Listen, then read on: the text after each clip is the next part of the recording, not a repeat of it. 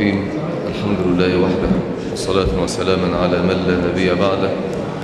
اللهم صل وسلم وزد وبارك على نبي الحبيب محمد وعلى آله وصحبه وسلم. ثم أما بعد. لن أطيل على حضراتكم ولكن دقائق يسيرة. كليمة صغيرة ولن أطيل عليكم وهي تتمة لموضوع خطبة الجمعة. في قصة الخضر ونبي الله تعالى موسى. والمعنى الكبير الذي يمكن أن نستفيده هو معنى أدب التعلم والتعليم. أدب التعلم والتعليم. فهذا نبي الله تعالى موسى كريم الله من أولي العزم. وكان في مجلس من مجالس بني إسرائيل فقال ليس أحد على وجه الأرض أعلم مني.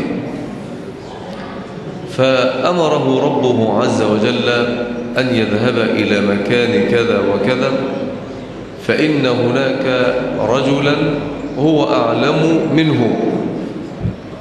وجعل ربنا عز وجل فقد الحوت علامة على ذلك الرجل. أخذ جانب الساحل وكان معه فتاة وكان معهما الحوت الذي هو طعامهما. فلما فقد الحوت كان من أمر الله عز وجل أن وجد الخضر. ثم كانت هناك الآداب التي بين العالم والمتعلم في هذا المقام.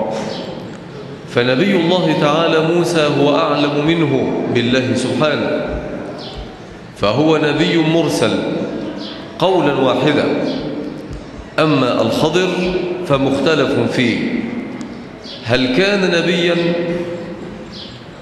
هل كان نبيا أم كان رجلا صالحا؟ هذان قولان. والراجح عند أهل العلم أنه كان نبيا ولم يكن رسولا. كان نبيا ولم يكن رسولا. فموسى أعلم منه بالوحي وأعرف منه بالله. ولكن في هذا المقام كان موسى تلميذا وكان الخضر أستاذا. فلا بأس أن يتعلم الإنسان ممن هو أدنى منه. وأن يستفيد منه. بل إن المرء لا يشرف ولا يكون عظيما إلا إذا استفاد ممن هو أدنى منه يخفض جناحه له ويستمع إليه ويقبل منه. الفائدة الثانية وهي خطيرة جدا وهي أهمية النفع المتعدي. النفع أمر النبي صلى الله تعالى به فقال النبي صلى الله عليه وسلم اشفعوا تؤجروا. اشفعوا تؤجروا. وشفاعة نفع متعد أي يتعداك إلى غيرك. وقال النبي صلى الله عليه وسلم من استطاع منكم أن ينفع أخاه فليفعل. من استطاع أن ينفع أخاه فليفعل. والمواقف الثلاثة التي سجلها القرآن في قصة موسى والخضر كلها من باب النفع المتعدي النفع كما قلت نفعان نفع لازم أن تصلي فأجر الصلاة لك أنت فأجر الصلاة لك أنت أن تحج بيت الله فالحج أجره إليك أنت ليس لأحد غيرك. فهذا نفع لازم. أن تشرب. فإذا شربت انتفعت بشرابك فهذا نفع لازم. أما النفع المتعدي أن تطعم الناس وأن تسقي الناس وأن تعلم الناس وأن تقوم على مصالح الناس وأن تؤدي إليهم الأمور والحاجات التي يقومون بها ويحتاجون إليها. هذا كله من باب النفع المتعدي. فالشفاعة نفع متعد والتعليم نفع متعد والتطبيب نفع متعد والزواج نفع متعد وتربية الأولاد نفع متعد. فمعظم المنافع التي يقوم بها المجتمع وتقوم عليها العلاقات الإنسانية هي من باب النفع المتعد المواقف الثلاثة الموجودة في سورة الكهف في قصة موسى والخضر كلها من باب النفع المتعد الموقف الأول قصة السفينة والذين هم عليها. أما السفينة فكانت لمساكين يعملون في البحر. فأردت أن أعيبها وكان وراءهم ملك يأخذ كل سفينة غصبا. هذا نفع متعد. الرجل ركب السفينة ولم يأخذوا منه أجرا. فالمقابلة أن يحسن إليهم وأن يحافظ على سفينتهم. فما كان من الخضر إلا أن أحدث خرقا في السفينة إذا قابل إحسان الناس بتوع السفينة بماذا؟ أن خرم السفينة ستسبب في إغراقها بقانون المصالح والمفاسد أتى هنا بماذا؟ بمفسدة عظيمة يترتب عليها غرق هذه السفينة ولذلك أنكر عليه موسى لماذا صنعت ذلك؟ الناس محسنون إليك. الناس حملون دون أجرة. فالمقابل أن تحسن إليهم وأن تحافظ على سفينتهم لا أن تخرم هذه السفينة. فكان الجواب أن هناك ملك ظالم غاشم. وهذا الملك يحب أن يستحوذ على أموال الرعية. فإذا مرت به سفينة وجدها سليمة صالحة للاستعمال أخذها هذا الملك. فأيها أولى يخرم هذه السفينة ويحتالون لسد الخرم حتى يجتاس الملك. أم يترك هذه السفينة ليأخذها الملك؟ فالأفضل أن يخرم هذه السفينة. فكان صنعه ذلك محافظة على السفينة والسفينة نفع لهؤلاء الربابنة.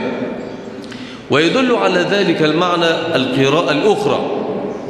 أما السفينة فكانت لمساكين يعملون في البحر المساكين كالفقراء.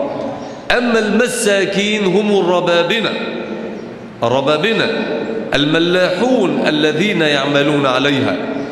فحافظ الخضر على مالهم وهذا من باب النفع المتعدي. فالأصل أن المسلم يحافظ على كل نفع يمكن أن يصل إلى الآخر. الموقف الثاني أسرة رجل وزوجه ولهما ولد. ألقى الله تعالى إلى الخضر أن هذا الغلام إذا شب شب كافرا فأرهق أبويه فربما كان سببا في تلفهما وفساد حياتهما يبقى دلوقتي نافع في ماذا؟ يبقيه ولا يقتله؟ يقتله فقتله. فكان ذلك من باب النفع المتعدي. كان ذلك من باب النفع المتعدي. الموقف الثالث دخلوا قرية استطعموا أهلها أي طلبوا منهم القرى والطعام. ناس في سفر ولم يأكلوا ودخلوا قرية وطلبوا من أهل القرية أن يطعموهم ولكنهم كانوا من البخل بمكان. كانوا بخلاء. لم يقروهم ولم يقدموا إليهم طعاما. لكن في الوقت نفسه كان هناك جدار حائط. هذا الجدار كان مائلا كان مائلا. فقوله يريد أن ينقض أي كان مائلا يوشك على السقوط. وكان هذا الجدار لناس فقراء فإذا وقع لم يقيموه. إذا وقع لم يقيموه فأقامه الخضر لهم لكي ينفعهم وكان تحته كنز لهما فوجد ذلك الكنز فأقام لهما الجدار ووجد ذلك الكنز فكان ذلك نفعا لهؤلاء الناس. إذا هذا كله نفع متعدي. وشريطة النفع المتعدي أن يكون من مسلم. أن يكون من مسلم. نمرة اثنين أن يكون النفع يغلب على الظن أنه نفع لا شوب فيه. يمكن الإنسان أن يظن أن هذا الأمر فيه نفع وليس به نفع. أيام زمان كان هناك ناس يسمون بالصعاليك. الصعاليك جمع صعلوك والصعلوك هو الرجل الفاتك الشديد الرجل الفاتك الشديد. فكان الصعاليك يقطعون الطريق على الناس ويهجمون عليهم ويسلبونهم ويأخذون منهم أموالهم. ثم بعد ذلك يوزعون هذه الأموال على الفقراء والمحتاجين. سبحان الله. هم يحدثون نفعا متعد ولكن هذا النفع لم يكن نفعا صحيحا لأنه قام على الظلم والاستلاب. قام على الظلم والاستلاب. نمرة اثنين قام به مشركون.